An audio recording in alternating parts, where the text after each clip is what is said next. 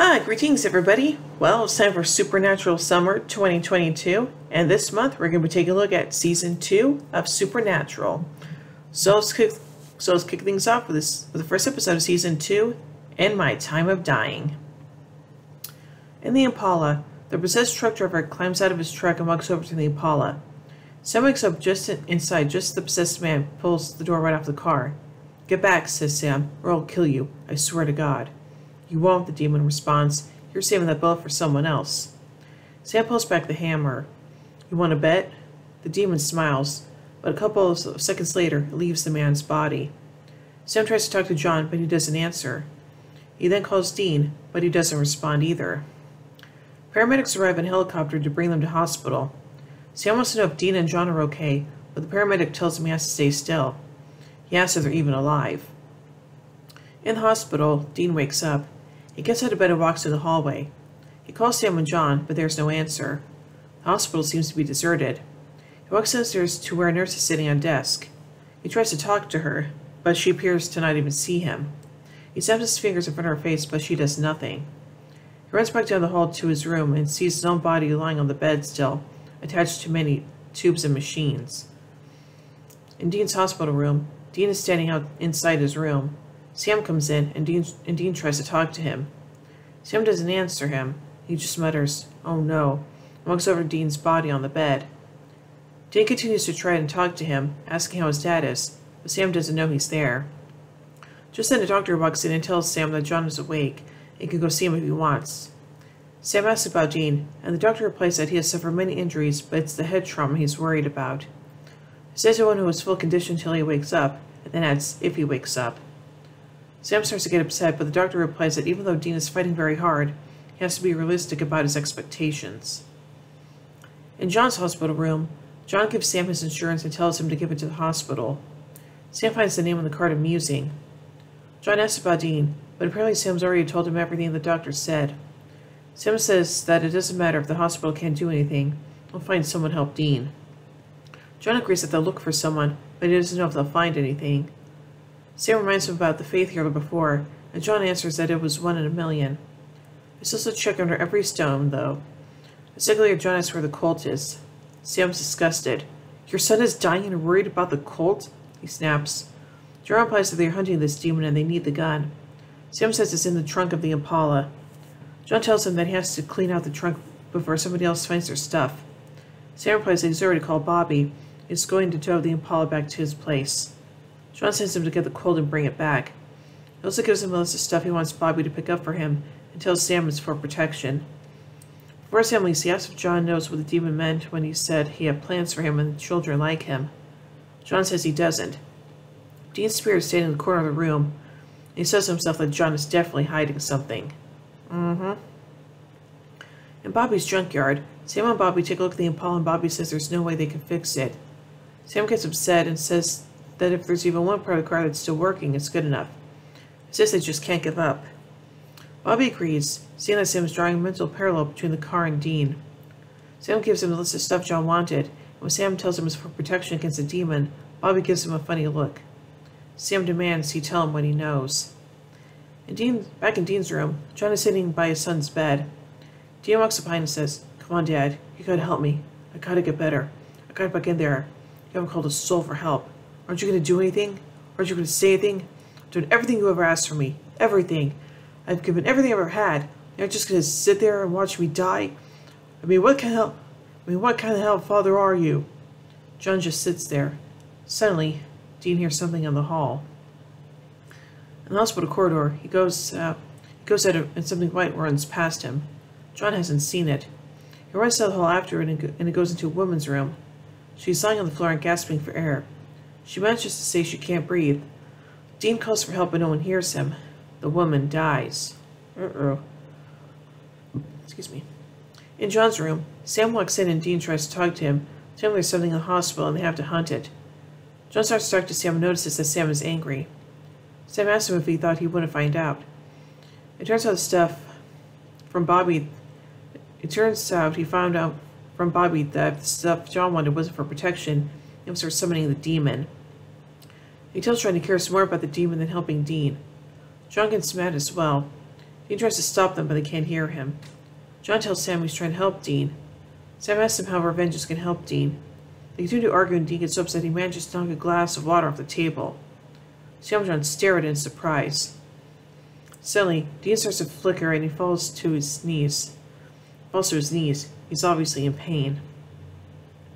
In Dean's room, Dean's hard to stop and they're trying to get him back. Sam watches from the door with tears in his eyes. Dean walks up behind him. He sees the same white shape in the hallway hovering over his body. He goes for and grabs the thing, even though he's thrown away from it, It moves away from his body and his heart starts again. In the corridor, Dean, out, Dean runs out into the hall and looks for the white thing, but it's gone. He goes back and stands, stands next to Sam. Don't worry, Sam, he says. I don't go anywhere. I'm getting that thing before it gets me. He reflects that some sort of spirit, and if he can grab it, he can kill it. Sam turns and almost looks right at Dean. Suddenly, Dean hears, hears a woman's voice yelling, Can't you see me? Why won't you look at me? He finds a girl on the stairs and asks her if she can see him. She says she can, and when he introduces himself, she says her name is Tessa. She asks him if she's dead. She shows him her room, where her body is lying on the bed and her mother is sitting beside her. She says it must be a dream. He says it's not, and asks her if she's ever heard of an out-of-body experience. she asks him if he's some sort of New Age guy. He says, you see me messing with crystals or listening to Yanni? It's actually a very old idea. He tells her he thinks it's going to happen to them, and if it is, it means that they're spirits of a body very close to death. She asks him if they're going to die, and he says no. In John's room, Sam was telling John that it felt as if Dean was there, just out of eyeshot or something. Asks if that's possible, and John implies that anything's possible. Sam says there's one way they could find out and starts to leave. John tells him that he won't hunt the demon, not until he knows Dean's okay. In the corridor, Dean and Tessa are walking together. He says he's impressed with how well she's taking this. He says she's taking it better than she than he did. She tells him that she was freaked out at first, but now she knows whatever's going to happen will happen. It's fate. He tells her that's crap. Says that they always have a choice. You can either roll over and die or keep fighting. He's interrupted by the doctors running behind him. He runs after them comes to a room where the doctors are trying to save a woman. The white shape is over her again. It touches her on the face. Even though he tries to pull it away, it disappears and the woman dies. Sam goes into Dean's room holding out a paper bag. He says to Dean that when he think that he thinks he's around, and if he is, they're going to communicate. Pulls out a Ouija board and sits down on the floor. he asks Dean if he's there. Dean is skeptical, but he sits down too and puts his hand to the board. It moves to yes. They're both shocked. Dean spells out hunt on the board. Sam asks him if he's hunting, and he moves to yes. Sam asks him if he knows what it is. Dean spells out reap on the board. Sam kisses Reaper and asks him if it's after him. It moves to yes. Sam says if it's there naturally, there's no way to stop it. Panicking, he says there ha- he says there has to be a way, and he goes to find his dad, but John's bed is empty. In the boiler room, John goes, John goes downstairs to the boiler room. He starts to draw a symbol on the floor in chalk. Sam goes back to Dean's room and tells him he has Dad's journal. Dean thanks him for not giving up on him. Sam goes to the page on Reapers and they both read it. Dean suddenly leaves. In Tessa's room, Dean goes down the hall and comes to Tessa's room. It's empty except for her, laying on an empty bed, watching him. Hello, Dean, he she says. Dean tells her he figured out that she's a Reaper, because Reapers can alter human perception. He says they can make themselves appear however they want. She says she was running when he figured it out. Dean asks her how she made him see her body and her mother. She says she can make him see whatever she wants. He asks her why she's toying with him and says and she says he didn't give her much choice, as he saw her true form and flipped out. She says this was the only way she could get him to talk to her. He asks what the hell she wants to talk about. She tells him that death is nothing to fear and, and it's his time to go. In the boiler room, John is chanting in Latin. He performs the ritual to summon the yellow-eyed demon. He finishes it and stands up, looking around. The demon comes, possessing a worker. John aims the Colt at him. Two other possessed doctors come as well. The demon says he's surprised John summoned him, as didn't take John as suicidal. He if he thought he if he really thought he could trap him. John lowers in on Coxstickin and tells him he doesn't want to trap him this time. He wants to make a deal. Sam is talking to Dean in his room. He he can find anything in the book and he doesn't know how to help him. He's also keep trying as long as he keep, as long as he keeps fighting. He says Dean has to hold on. He can't go now. They were just starting to be brothers again. Dean is asking Tessa to make an exception for him. He tells her his family is in danger. He says they need him. She tells him that he's not the first soldier she's plucked from the field. She says they all say they can't leave. Victory hangs in the balance, but the fight goes on without them. Dean tells her his brother might die without him. She says maybe he will, and maybe he won't.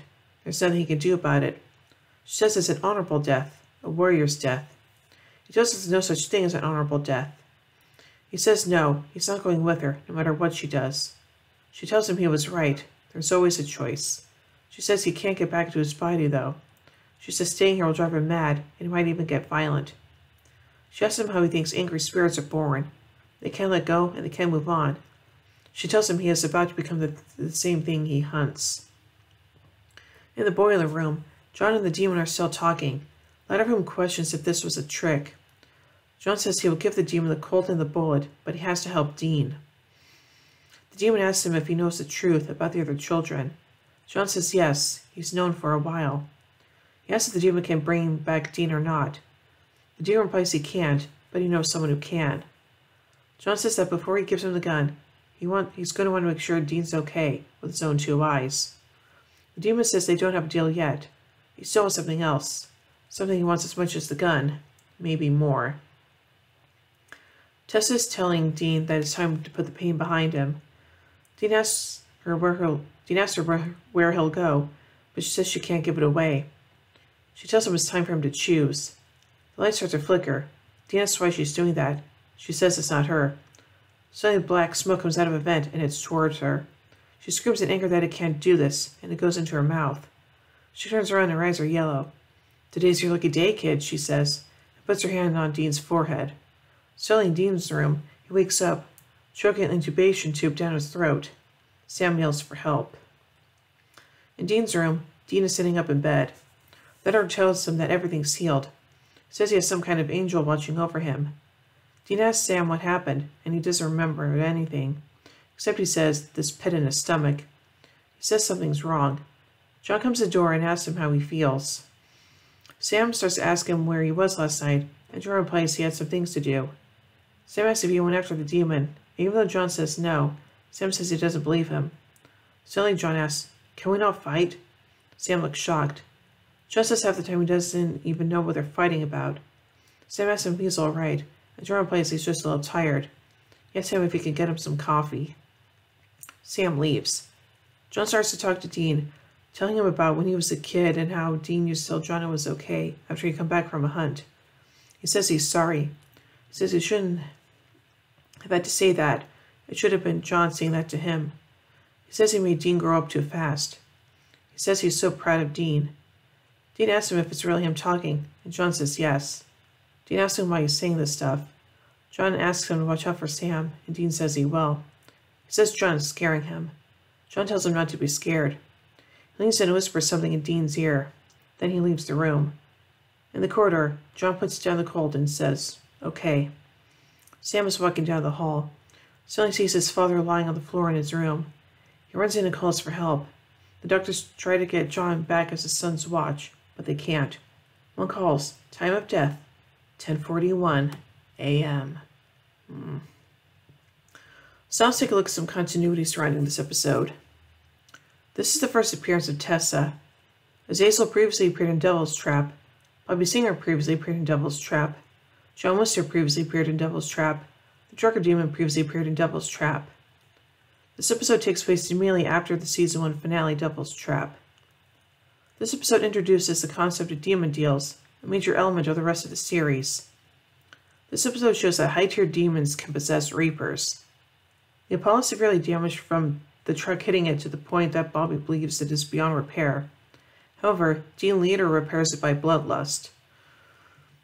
Dean makes first mention of a hole in his stomach, and Death takes a holiday, learns that the hole was the result of not going with Tessa. In season 4, we'll learn why Azazel wanted John's soul in hell. And now let's take a look at some trivia surrounding this episode. Jeffrey Dean Morgan is not credited as a guest star in the CW's official summary for this episode. This is the first episode of Fredric Lehne, or sorry if I mispronounced that, portraying Azazel. John uses the sigil of Azazel to summon the yellow-eyed demon, suggesting that he knew all along what the demon's name was. Dean finds out in Sin City. Around the 19 minute mark, when Dean and Tessa are talking, a message comes over the intercom calling for Dr. Kripke, likely named after series creator Eric Kripke. Early episode hospital page for Michael Crawford 340 is heard. Michael Crawford is a teacher at the University of Kansas in Lawrence. He teaches Anthropology 340. The events of this episode mark the beginning of a series character arc for Dean, one which sends him spiraling to depression and self loathing, making him into a much darker character. As Azazel dismisses Dean as not much of a threat. Ironically, Dean will later kill him. When talking to him about the Reaper, Dean states that you can't kill death.